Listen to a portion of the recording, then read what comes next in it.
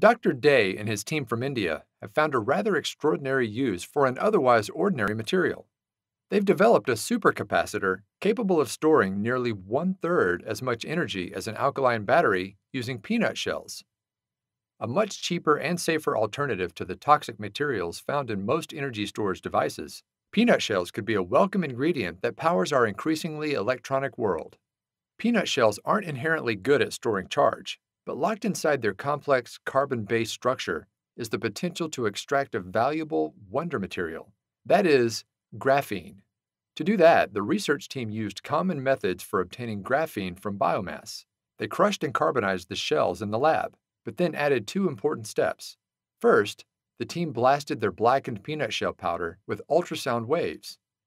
Much like the peanut, graphene is best when peeled. In fact, graphene is nothing more than a single molecular layer of graphite, or pencil lead. The problem is that graphene tends to cling strongly to itself. Pounding the powder with ultrasound helped pull as many layers of graphene as possible.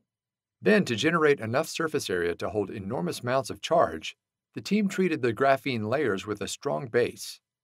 The result was a thick ink capable of soaking up as much charge in a few drops as millions of normal capacitors joined in series. In fact, the team showed that their peanut shell based ink could be charged in about one minute and deliver enough energy to power an LED. And therein lies one of the greatest advantages of supercapacitors like this.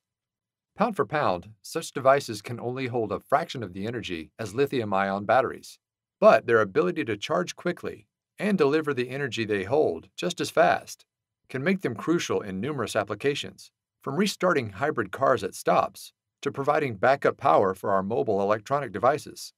And with millions of tons of raw material generated every year, these new supercapacitors could help shrink the enormous carbon footprint of today's energy storage industry.